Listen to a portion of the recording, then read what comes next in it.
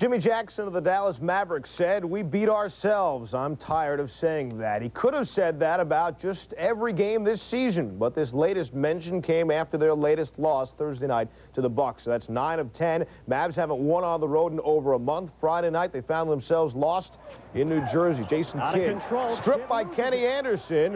It's amazing when he doesn't worry about his new agent or a new contract. He can hit from three. Had 18 points and 15 assists. Nets by as many as 21 in the first half.